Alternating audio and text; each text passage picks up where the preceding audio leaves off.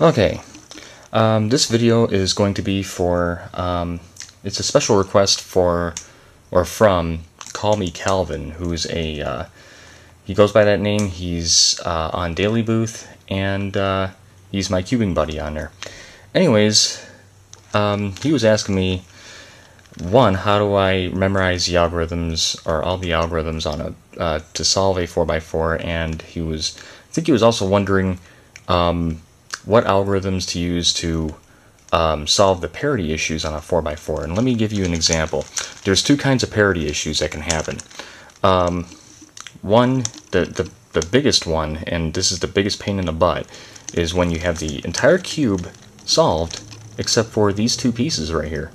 And this only happens on an even numbered cube like a 4x4, 6x6 on a computer and an 8x8 uh, because of the fact that there's no centers, there's no physical center to the cube, like an odd number cube would have, like a 5x5, 7x7, even a 3x3 has a physical center. And because of that physical center, you actually have a center edge piece, and that center edge piece keeps these two uh, edge pieces from being switched. But um, on a even numbered cube, uh, these can be switched very easily. Sorry, it's getting a little blurry here. There we go. Um, so, how to solve that?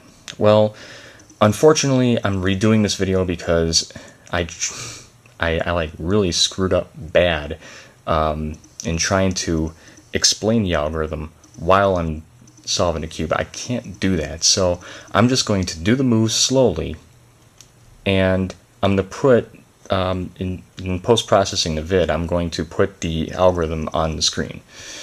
So just bear with me, okay? Here we go.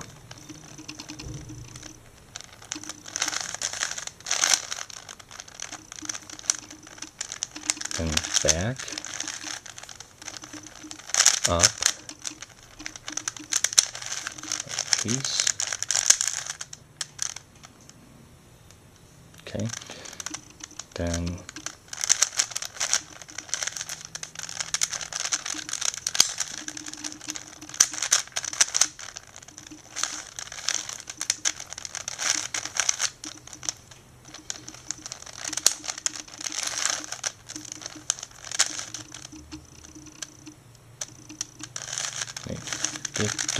sorry.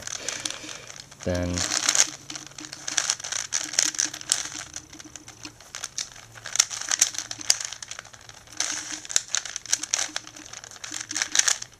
There we go. That is now solved. What essentially that algorithm did is it just switched these two pieces and put them back in their proper spots without disturbing anything else. well, I hope I got the algorithm right, and I'm going to show you something else too. Um, but first, before I show you the other parity, um, I will show you basically uh, you can catch that that parity I just showed you uh, while you're in the uh, solve. You know, if you're solving a regular, if you're solving it the regular way, um, like you know, solving it like a three by three after you get this after you get the centers and the edge pieces solved, uh, you can usually catch that parity when you're trying to solve the top cross. Um, and the reason why is because, well, if you have that parity happen, you won't be able to get the, you won't be able to put the top cross on. It, there's no way. So once you see that, you can identify it and deal with it right then and there. Um, the other parity issue happens uh, when the two corner pieces um, get get screwed up in some way, and you try to solve the corner pieces, and when you do that, um, then you have these two edges here switched around. Like you'll have this over here and this over here. I'll show you really quick.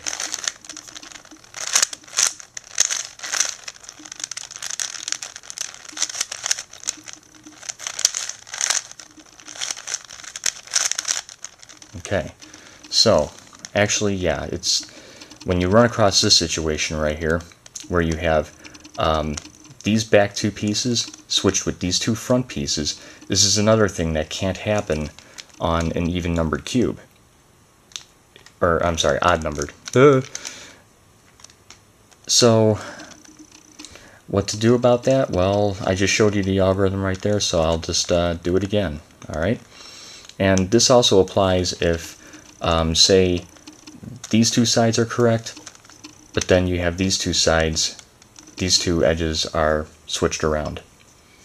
Then you can still apply this, and um, after that, it will still you'll still have to solve it like the regular 3x3, but it'll be a lot easier. So let's go ahead and do this again. And this is actually a lot easier to remember.